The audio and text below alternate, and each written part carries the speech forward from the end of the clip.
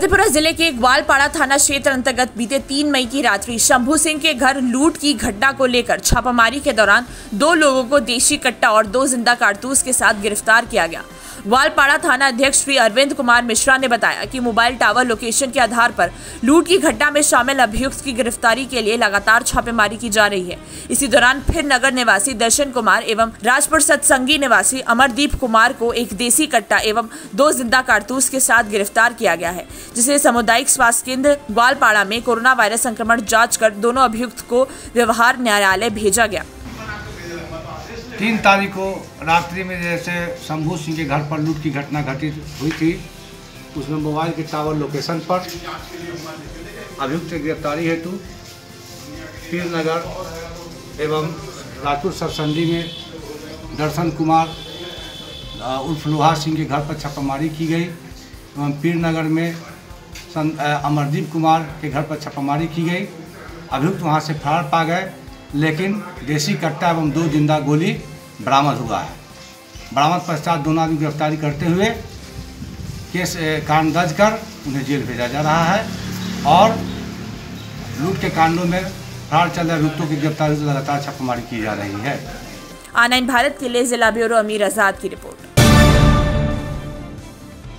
गिद्धौर बाज़ार में बिहार सरकार के लॉकडाउन के नियम का पालन नहीं करने वाले दुकानदारों पर गिरी गाज। बताते चले कि गिद्धौर बाज़ार में आज अंचलाधिकारी रीता कुमारी गिद्धौर थाना अध्यक्ष अमित कुमार, सहायक अवर निरीक्षक हरेराम पासवान ने नियमों का पालन नहीं करने वाले दुकानदारों को सख्त हिदायत दी। कहा कि अगर आप लोग नियमों का पालन नहीं करेंगे तो दुकानें आपकी सील कर दी जाएँगी और इसके साथ ही आप पर सख्त कानूनी कार्यवाही भी की जाएगी। सरकार के यह निर्देश जारी कर दिया है कि इमरजेंसी दुकानें सुबह सात बजे से लेकर ग्यारह बजे तक दिन में खुली रहेंगी, बाकी सभी दुकानें बंद रहेंगी। कौन कौन दुकान सील हुआ मैडम? हाँ, दो ज्वेलरी की दुकान हुई एक किराना की हुई और एक कार्ड का दुकान है चार दुकान को सील किया गया आर नाइन भारत के लिए सदानंद कुमार की रिपोर्ट जमुई।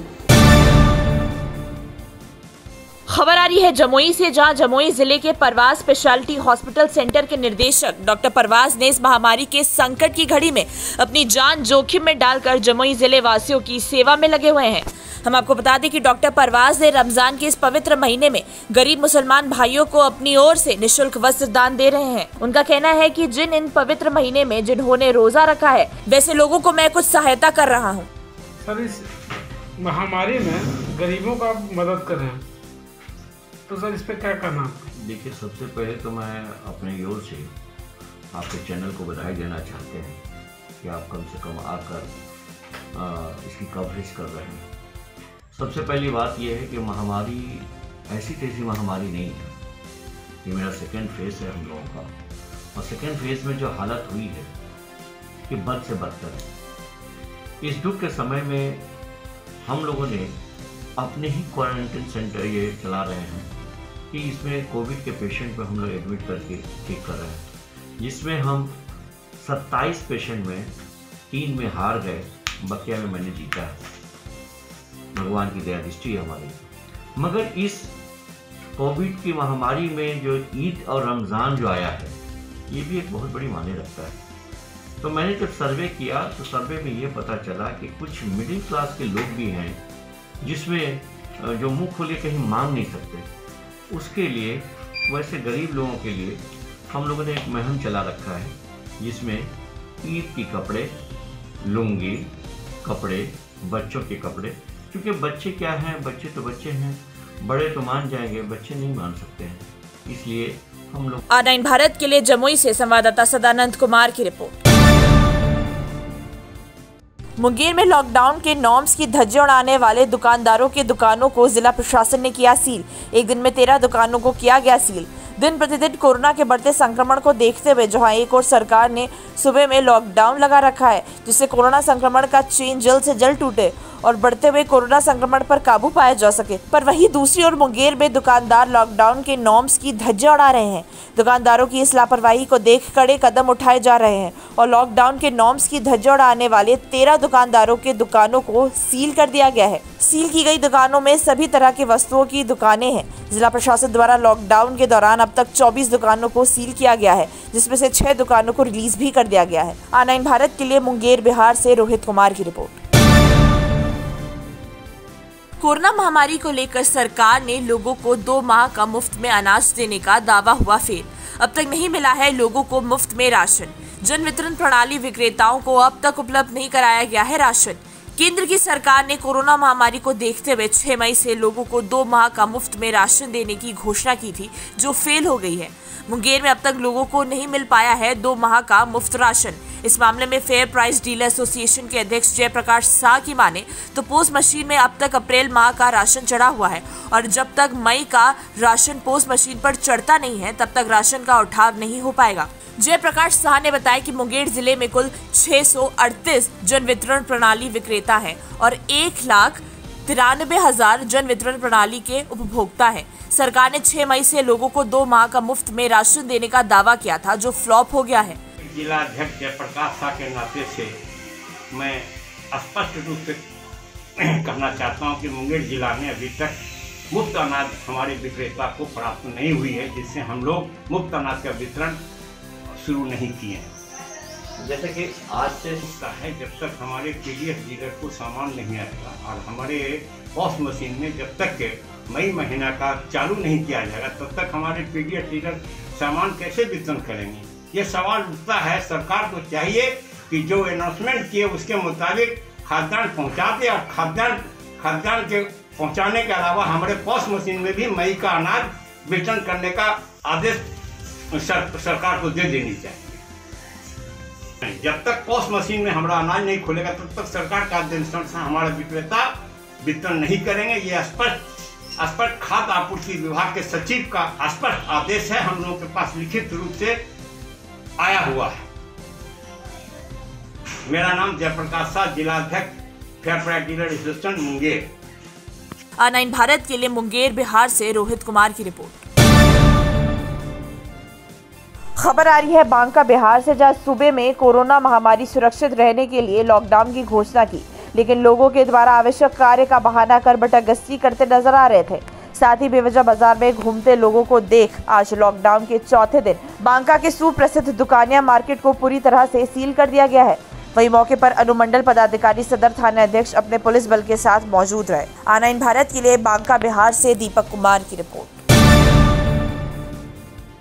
बिहार में पाँच मई से जो लॉकडाउन जारी किया गया है, पंद्रह मई तक उसी क्रम में आज चौथे दिन लगातार प्रशासन अपने एक्टिव मोड में दिख रही है और इसी क्रम में आज यातायात थाने के समीप नाका नंबर छह पर भी लगातार गाड़ियों का चेकिंग जारी है। इसलिए गाड़ियों का चेकिंग जारी है। चेकिंग इसलिए किया जा रहा है ताकि कुछ लोग बेवजह जो सड़क पर घूमने निकले हैं और वह लॉकडाउन का पालन नहीं करते, इसको लेकर चेकिंग जारी किया गया है और लोग रिपीट और जो लोग इसी क्रम में दवा के लिए या किसी कारणवश किसी डॉक्टर के पास निकल रहे हैं उनको पेपर देख करके छोड़ दिया जाता है।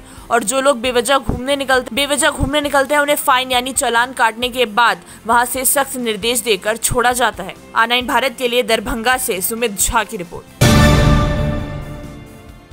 कोरोना महामारी को लेकर एक तरफ़ जहाँ बिहार सरकार ने लॉकडाउन जारी रखा है, उसी क्रम में आपदा राहत केंद्र जो कि दरभंगा के एमएलएसएम कॉलेज में जो गरीब तबके के लोग हैं, कहीं से बाहर से आ रहे हैं या हॉस्पिटल में जिनके परिवार जो एडमिट हैं, उन सभी तक खाना पहुँचाने में दरभंगा प्रशासन लगातार तत्पर बनी हुई है। इसी के निरीक्षण में आज एमएलएसएम कॉलेज में पहुँचे थे अजय कुमार, भू अर्जन पदाधिकारी संस्कार रंजन सीनियर डिप्टी कमिश्नर जिन्होंने वहाँ के किचन से लेकर के सारी व्यवस्थाओं का निरीक्षण किया।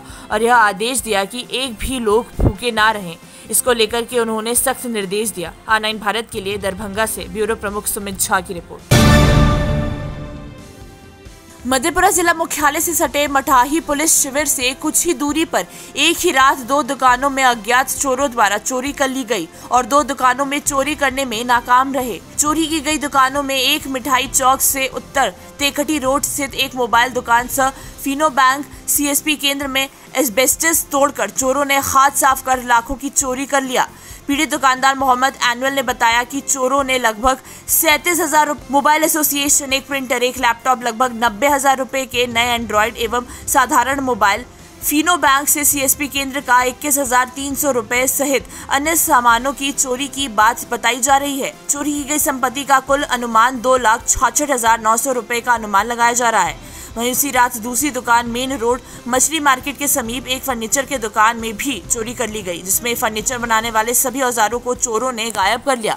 पीड़ित फर्नीचर दुकानदार सच्चिदानंद शर्मा ने कहा कि लगभग पचास हज़ार की सामान चोरों के द्वारा चोरी कर ली गई है। इतना ही नहीं, अज्ञात चोरों ने दो अन्य दुकानों में घटना को अंजाम देने का प्रयास किया, लेकिन असफल रहे, क्योंकि लोहा का ग्रिल भारी होने के कारण नहीं उठाया जा सका। एक ही रात मठाही पुलिस शिविर से लगभग मार्केट 200 मीटर की दूरी पर है। इतनी बड़ी घटना को अंजाम देने वाला अज्ञात चोरों ने बड़ी साहस करते हुए घटना को अंजाम दिया। वहीं पीड़ित दुकानदारों सहित अन्य दुकानदारों ने आरोप लगाते हुए कहा कि मिठाई पुलिस शिविर रात्रि में कभी गश्ती नहीं करती है, जिसके कारण आए दिन घटना घटती रहती है। एक तरफ़ सभी कोरोना के कारण लगाए गए लॉकडाउन से लोग परेशान हो रहे हैं, वहीं दूसरी तरफ़ पुलिस प्रशासन की लापरवाही के कारण हो रहे चोरी से अब सवाल ये उठता है कि कि यदि मिठाई पुलिस शिविर प्रभारी रात्रि गश्ती में तैनात होते तो एक ही रात में इतनी बड़ी घटना को अंजाम देने वाले चोरों को कई बार सोचना पड़ता। मिठाई पुलिस शिविर प्रभारी कमलेश कुमार सिंह ने बताया कि घटना की जानकारी तो मिली है लेकिन आवेदन मधेपुरा टाउन थाने में देने को कहा गया है क्योंकि यह मिठाई शिविर थाना नहीं है। यहाँ सिर्फ़ सिपाहियों के रहने की जगह है। घटना के बारे में कैसे जानकारी मिला आपको? अपना घटना के बारे में हम जो ना अभी जब सात बजे खोलने के लिए आए दुकान तो उसके बाद जो देखते हैं यहाँ से ऊपर से लाइट तो देख रहे थे ऊपर तो हमको पता चला था खबर किए सारे आदमी को लगभग कितने की क्षति? लगभग में लाख से ऊपर का क्षति क्या क्या क्षति हुआ? इसमें जो प्रिंटर मशीन नया था और फोल्डर मशीन भी था नया और सी एस पी जो चलाते हैं उसमें तकरीबन पंद्रह बीस हज़ार रुपया भी था। और इसमें जो है मतलब मोबाइल का जितना भी था सारा एसेसरीज मिनिमम पैंतीस चालीस हज़ार का समथिंग में और मोबाइल नया पुराना। नया कम से कम मोबाइल छः सात आठ गो मोबाइल आठ गो लगभग मोबाइल था उसमें। मोबाइल तकरीबन वही बारह तेरह सौ लमसम में एक मोबाइल का दाम पड़ता है। और सबका सब ले लिया एसेसरीज लगभग पैंतीस हज़ार के करीब सारा सामान ले गया। आपका नाम? मोहम्मद इनूर दुकान कहाँ पे स्थित है? ये टैक्सी रोड मठ है। घटना के बाद कोई प्रशासन वगैरह आए क्या? फ़ोन पर बात किए तो एक डेढ़ घंटा के दो घंटा के बाद आया आर नाइन भारत के लिए जिला ब्यूरो मीर आज़ाद की रिपोर्ट।